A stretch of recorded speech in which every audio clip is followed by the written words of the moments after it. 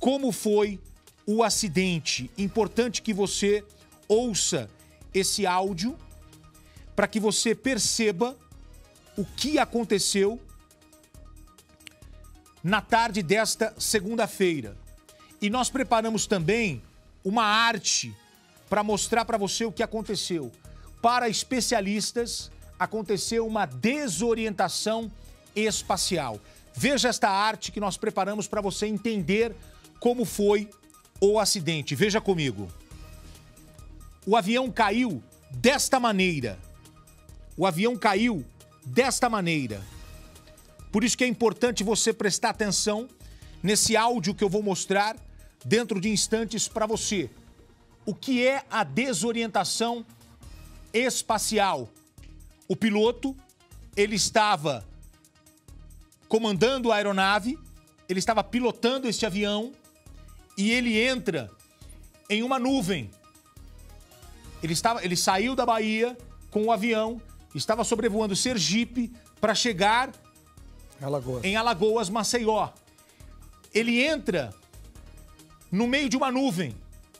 Este avião, este monomotor, ele não tem os equipamentos necessários para voar numa altura mais elevada e ele não tem os equipamentos necessários para voar em meio a nuvens. Ou seja, ele não tem os instrumentos. Por isso que nós falamos muitas vezes, o aeroporto de Congonhas está operando por instrumentos, ou seja, não é no visual. O piloto coloca o avião no chão a partir de conversas com a torre de controle e os equipamentos aqui. A distância, a altura, a velocidade. Este avião não tinha não tinha instrumentos para voar em meio às nuvens, numa altura elevada. Embora este avião tenha um equipamento chamado horizonte artificial.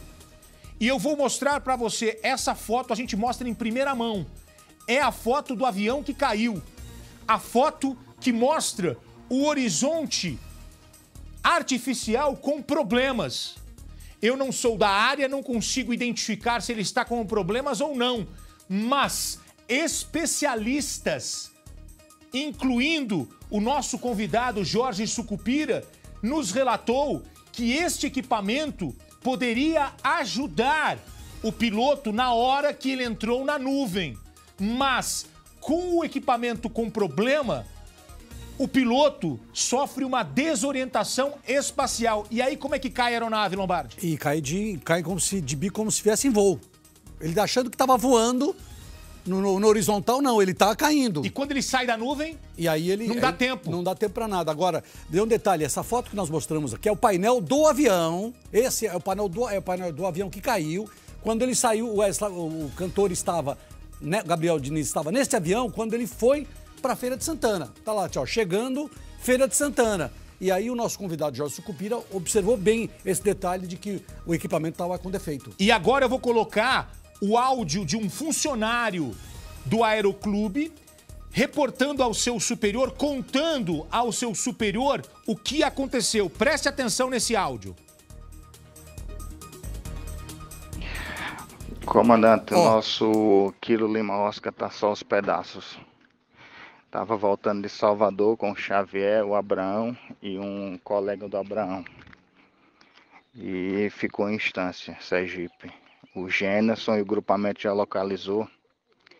Segundo o Gênerson, chove muito na região e tá achando que desorientaram, porque o avião tá enterrado, entendeu? Enterrado assim, né? Tá só os pedaços, entrou voando.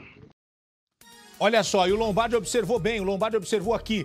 Esse rapaz não sabe que o amigo do piloto é Gabriel Diniz. É, falou, Gaeta, ele, ele fala, se a gente poder repetir, a gente ouve ele falando exatamente isso.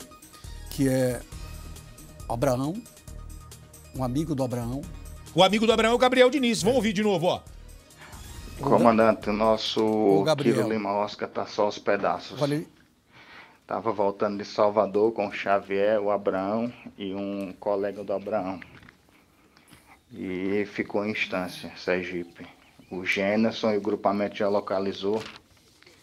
Segundo o Gênesis, chove muito na região e tá achando que desorientaram, porque o avião tá enterrado, entendeu? Enterrado assim, né? Tá só os pedaços, entrou voando.